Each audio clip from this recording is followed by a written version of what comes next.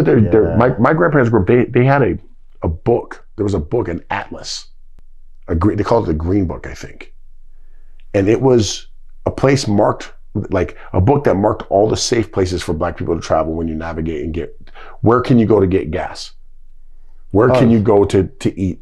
Where, where can you go to use the restroom? That's insane, isn't it? Like, Like- every little thing. But Yeah. these, so you, so it isn't like we do. Just get on the phone. Uh, I get Southwest Airlines. I get on the plane. I go do what I want to do. I like, like this is a th- like they didn't have that option. They, they, they're like we, we had to be careful where we pulled over to get gas. Mm.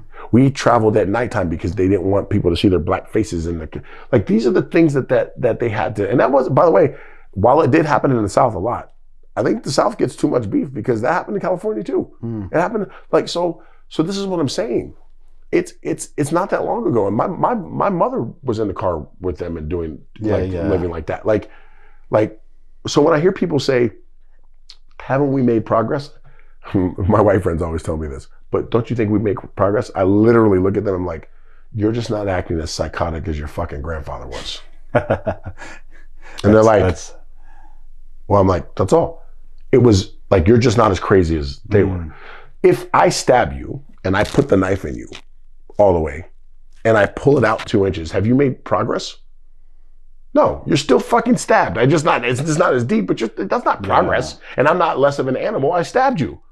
So this is the thing. It's like this perception that people have of, of what blackness is and what Asian is and what Latino is and all, like, because it help it for, for, for ignorant people, it helps them to try to put everyone in a category yeah. Okay. right? Blacks do this, whites do this, like, and I and I, it's racism is like this mystery. It's like Celine Dion, right?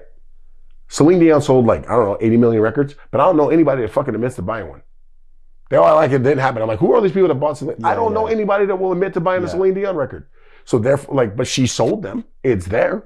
Like in the 60s, you saw these angry white people and and and and and, and uh like they would wear KKK like robes and stuff. Yeah. What, what happened to their robes?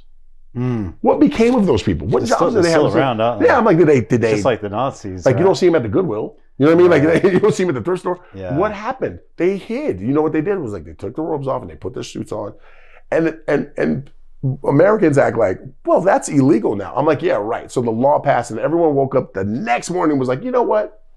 All that lynching and burning and all the nigger stuff that we've been doing, let's stop that because it's illegal. Stop, Mm. Bro. Stop. It's deeply embedded in the country. It's it's like the foundation.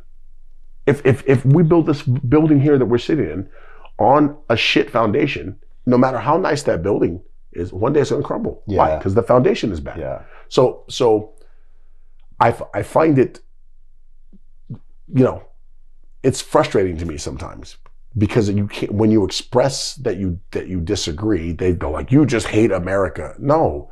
Oh, you if you're critical of police, you hate America. I don't hate the country. Uh, what are you talking about? I'm I'm demanding that the country live up to the values that it professes to have. Mm.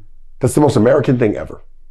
I want, I, I don't, I don't want equal results. You can't guarantee equal results because not everybody hustles the same. Yeah. But opportunities are are important. Oppor- like this, this idiot Whitlock, I saw him on. He's like, well, you know, the people are claiming that the NFL is racist. The NFL is not racist, and it's not been that way for for, you know, for uh, fifty around fifty years. And I'm like, really? Because he was he was using that black coaches are being hired now, so therefore the NFL is not racist. But it hadn't been racist since the 70s. I'm like, really? In It's like 1970, if I get a black friend. They're Yeah. trying not racist. 1972, Yeah. how many black coaches were in the NFL? Fucking zero. I was gonna say They hadn't even that's- hired one yet. Mm. That didn't happen until Art Shell, like in the 80s, late late 80s. And then he was one of one for a long time. So, so then you say, relative to the amount of black athletes that are there, why aren't the coaches like they had to make a Rooney rule so that black coaches could even get an interview? They weren't even getting interviews. Really?